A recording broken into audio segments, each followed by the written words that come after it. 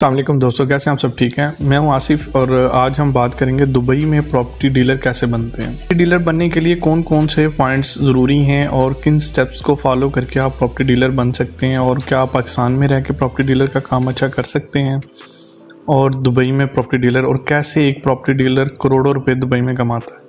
कि इसकी of plan ready to move और स्कैंडी मार्केट की जो, और रेंट की मार्केट है, इसमें क्या डिफरेंस है?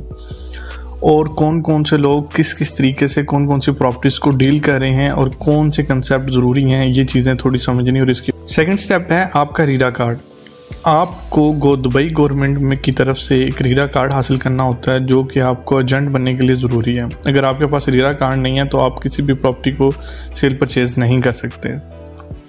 थर्ड स्टेप में आपने रियल स्टेट की किसी कंपनी को ज्वाइन करना है, या फिर आप अपना ट्रेड लाइसेंस लेके भी अपना काम शुरू कर सकते हैं। ये आप पे डिपेंड करता है।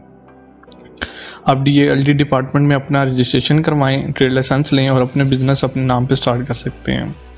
उसके बाद आपका वीज़ा एम्प्लॉयमेंट वीज़ा अगर आप कंपनी में काम करते हैं, अगर आपका बिज़नेस है तो आपको बिज़नेस वीज़ा नेक्स्ट स्टेप की तरफ़ चलते हैं, दुबई रियल स्टेट मार्केट में इस टाइम ऑफ़ प्लान की काफ़ी डिमांड है और इसके साथ साथ दूसरी जैसे कि सैनी मार्केट की भी मार्केट बहुत अच्छी है।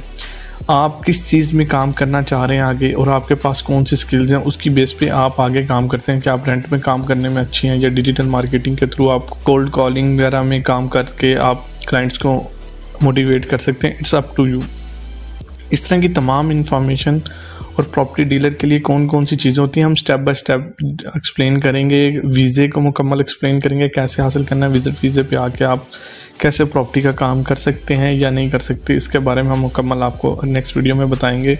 हमारे चैनल को सब्सक्राइब करना ना भूलिएगा। Thank you for watching